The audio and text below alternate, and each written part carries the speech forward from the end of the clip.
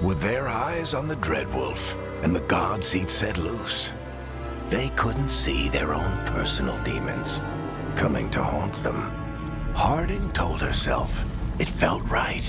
She was connected to the stone, to the lost titans, and all of Dwarven history with its buried secrets. How could that be anything but good?